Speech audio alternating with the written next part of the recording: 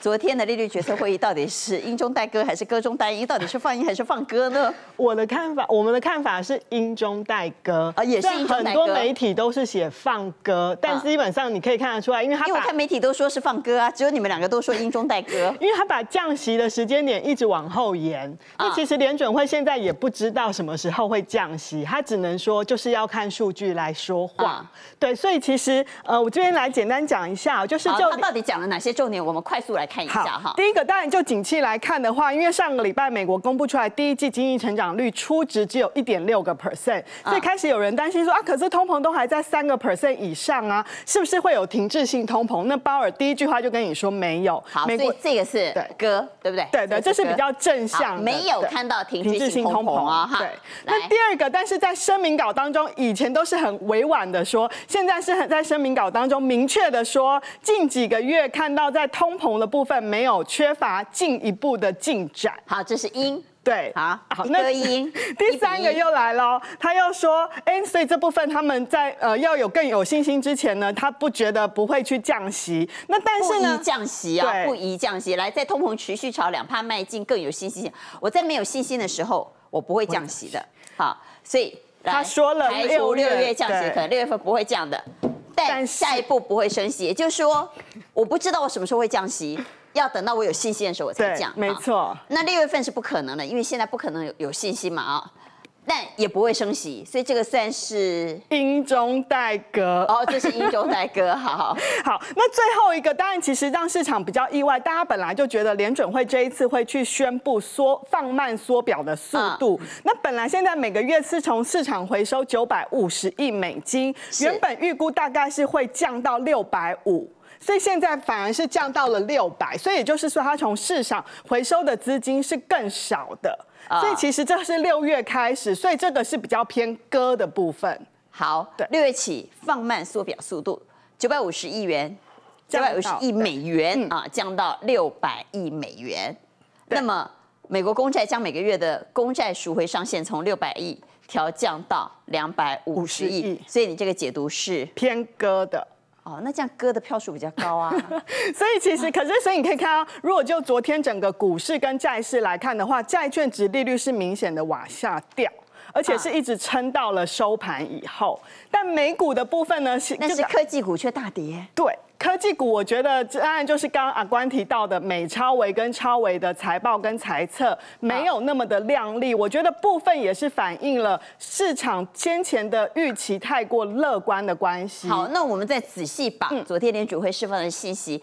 再好好的抽丝剥茧一下哈，第一个就是联准会要保持耐心，为什么？没有信心，但是保持耐心。因为现在的通膨，不论是 CPI 或者是 PCE，都还高于这个目标值两个 percent 以上。啊，所以还有漫漫长路要走。对，那因为通常就像时间点一直往后延，就像爬山一样，其实最后一里路总是那么的难熬跟艰困。对对对对，所以联准会其实现在真的也不知道。所以以目前的联邦利率期货来看的话，首次降息的时间点已经递延到了十一月。原本上个礼拜都还停留在九月，所以现在已经递延到十一月。但是我必须要说，因为今年十一月美国要选举。通常很少在选举那个月做动作，所以有人说可能是十二月啊。对，如果是这样的话，真的大概今年就是，如果这样子的话，落在十二月的几率是高的。那当然，如果未来几个月通膨有开始比较明显的降温，我觉得还是有九月的可能性啦。所以就是九月跟十二月是比较有可能的。那如果是真的落在十二月或九月的话，当然目前市场预估是降一码。对，所以我觉得现在市场的预期的确是已经比较保守一点，就是已经反映了哦，联准会可能今年就是只降一码的状态。嗯，那右最右边的就是在联准会资产负债表。对对对，现在大概就是在七点四兆美元。好，我们再往下来看啊。所以昨天的利率决策会议是大家觉得非常非常重要的。那当然，公债值利率也显示了这个讯息，对不对？对。那我要讲的是，因为十年期公债值利率呢，去年十月份最高，其实一度逼近了将近五个 percent。今年来，其实从四个 percent 以下呢，一路的攀升，现在也大概就是在四点六附近。那不管联准会怎么动作，基本上我们的看法，你可以看到，如果就值利率还是很高，虽然有稍微下降，但还是很高。对。那只是大家会期待说，哎，如果联准会未来降息，殖利率有可能会降到哪里？我们如果就彭博的调查预估，今年年底大概也不会低于四个 percent。那基本上我们的一个整体富兰克林国外的团队，他大概看的区间就是四点二五到四点七五。我先讲一下为什么我刚刚是站中间，是因为其实如果就类股轮动的角度，其实美国股市在三四月份就已经出现了。啊，我们看一下，呃，四月份美国股市十摊普百指数十一大类股。全部一片红当中，唯一收红的是谁？一片黑啦，一片下跌的当中，唯一收红的是公用事业类股，涨了将近一点六个 percent，就像水电瓦斯类似这样子的一个公用事业，它就不较不会受到景气的循环影响。可是过去公用事业类股很怕值利率弹升，但是因为它这一次的基期已经很低了，可能就像我们台湾的一些呃非电子股一样，它的基期很低之下，反而这一波值利率的弹升，四月表现不错。对。那反而你可以看到 AI 科技股的部分是跌了超过五点。